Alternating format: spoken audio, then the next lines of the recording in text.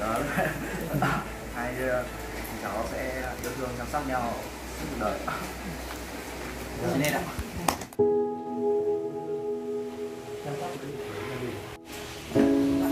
Đó là là những cái điều suy nghĩ của tất cả các bậc làm cha làm mẹ các bậc phụ huynh đều mong con cháu mình như thế cả.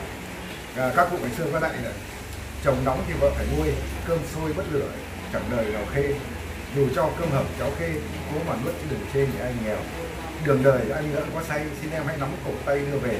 Đừng để anh lạc lối về, nhầm nhà cô hàng xóm đi tìm về đó lâu. Đấy là cái điều dạ, em đặt hai con.